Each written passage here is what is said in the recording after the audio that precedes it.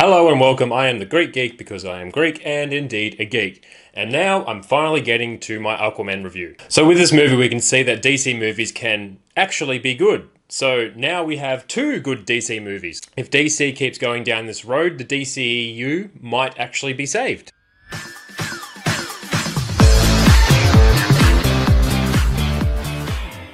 Aquaman's half brother, King Orm, declares war on the surface world, and Aquaman must rise up and challenge him to become the king of the seven seas and save the world. Jason Momoa plays Arthur Curry slash Aquaman, who will become the ruler of the seven kingdoms, I mean, seven seas. Amber Heard plays the hot red-headed love interest Mera. Willem Dafoe is not Dafoe in this movie, he is a mentor called Vulko. Patrick Wilson plays King Orm, who is Aquaman's half brother. Dolph Lundgren plays a competent actor. He really plays Nereus, which is Mera's father. Nicole Kidman plays Aquaman's mother, Atlanna. And finally, yeah, I'm not even going to attempt that. Yeah, he plays Black Manta. One thing that I was not expecting to enjoy in this movie was the romance between Aquaman's mother and father. I really enjoyed their scenes together, and it really sold that they actually had a romance and had a thing for each other, and that their love was a real thing. On the other hand, Aquaman's and Mera's relationship. I didn't really think they had that much chemistry towards the start of the movie. I knew they were love interests, but there wasn't really that much good banter between them, I felt. But then after the halfway point, things got a lot better, and I could see that these two actually cared for each other. King Orm is kind of the main villain, and his reasoning for declaring war on the surface world and humanity is because they're polluting the oceans or something, but instead of just sending all the ocean, all the rubbish in the ocean just straight back on land, which he does in the movie, he goes a step further and declares war on people and kills innocent people, which is just yeah. If he really wanted to declare war on humanity just because all the all the rubbish and pollution in the water, even though he was capable of just sending it back, why didn't he just do that? The acting in this movie overall is pretty solid. Amber Heard, when she was when in the first kind of half of the movie, I thought there was some bits of dialogue that she could have delivered better and but she did get better as the movie went on and was more believable so there's that. The scenes with her that i really enjoyed is when she was on the surface with aquaman and exploring the human world in sicily and all that. That was all really good. It's a kind of fish out of water scenario which is a fish out of water. Who wrote this?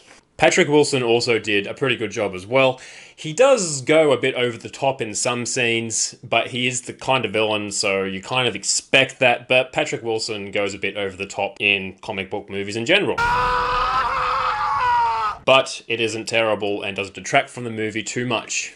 Now, the most awesome villain in this movie is Black Manta. He tries to go to toe to toe with Aquaman at the start of the movie as a regular human, gets his ass kicked, and his dad gets trapped and his dad dies. And he desires revenge against Aquaman because Aquaman left his dad to die when he could have saved him. He was being a bit of a prick. So that's what you get for being a prick, Aquaman. On a negative note, some of the dialogue was a bit awkward and wasn't delivered very well.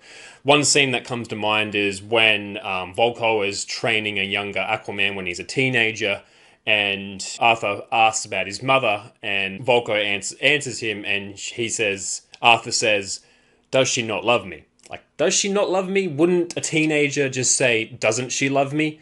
Is there's a couple of bits of dialogue like that that are just a bit just a bit cheesy and not delivered very well and come over as a bit awkward. James Wan directs this movie. I looked at his filmography before, seeing what kind of movies he's been involved in in the past. He's been mostly involved in the Saw franchise, the Conjuring, and the Insidious movies. So those kind of horror movies, he's either been director, writer, producer, or one or two of the three. So those are the kind of movies he's mostly been involved in, and I couldn't see that he's been involved in any kind of superhero movie before. So his first time directing a big budget superhero movie, he has done an amazing job. The action and choreography in this movie is absolutely amazing, to say the least. It is there is a lot of action, so there's plenty of it to keep you interested and keep you going, even when there's a bit of a lull in the pacing. You can tell that a lot of effort went into the action and choreography. When they're shooting fighting scenes, they take a step back, you get a clear shot of the action and they do longer takes for the action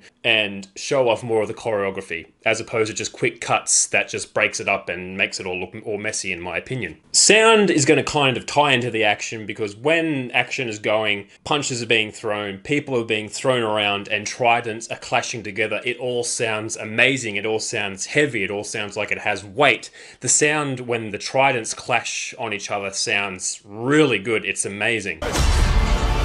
All of those sounds sound really good. Also, the music in this is really good as well.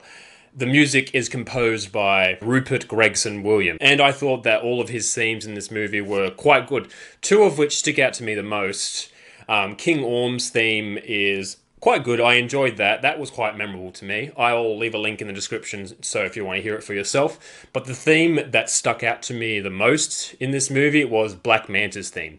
It sounds utterly amazing. I, as soon as I came home from watching this movie, I listened to it over and over and over again it's just got such a good beat to it and it's so dark and menacing. It was just, music wise, was the highest point of this movie for me.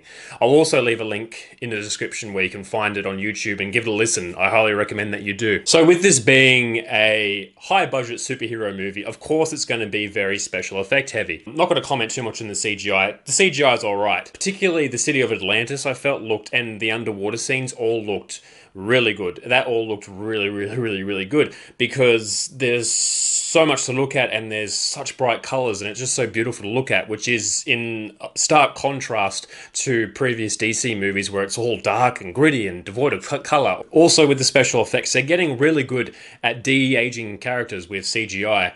Willem Dafoe looks really good de aged, and so does Temuera Morrison. I could I could barely tell they were using CGI to de age them. Were they using CGI to de age them? Does anyone know? Comment below, let me know. But it, that looked really good and really convincing as well. They actually did look really young. That was really good. This movie was odd to me because it felt longer than it actually was, but I wasn't bored at all, which was strange. And thinking about it, as I said before, there is lots of action in this movie. Um, I think barely even 10, 15, 20 minutes goes by with an act without an action scene. So even when there's a bit of a lull and things slow down a bit, there's still another action scene just right around the corner to keep you going. And it's they're really good action scenes too, so it keeps you entertained and keeps you engrossed in the movie and it just makes it more fun. But yeah, the movie does feel like it does drag down in a few places. So as long as you like action, which you're a bit of a weirdo if you're not, in my opinion, that you'll be engrossed in this movie and will have a good time. The things I enjoyed in this movie is it had great characters it the villains were great. Orm, was okay, but Black Manta was amazing. The action and choreography was amazing. So fun to watch. The music was awesome. It had a decent and interesting, simple story. And I forgot to mention before, it doesn't go overboard with CGI. It's not trying to be a Marvel movie. There were very few things I didn't like about this movie. Just like, as I said before, some cheesy lines and not the best um, line delivery. I didn't really buy Mera and Aquaman's romance at the start, but at the end it grew grew on me. And as I said before, the pace can get bogged down a bit, but as long as you enjoy action, there is a lot to enjoy and lots of fun. So I'm going to say, even if you're not a person who's really interested in superhero movies or DC movies, if you think DC's had a bad track record in the past, this one will change your mind. I think it there is a lot of fun to be had.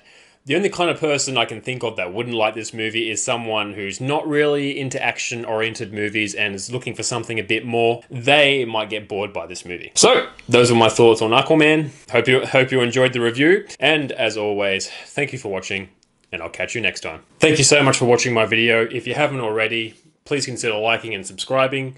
You can find me on social media. There's links to my videos down below. As always, thank you for watching.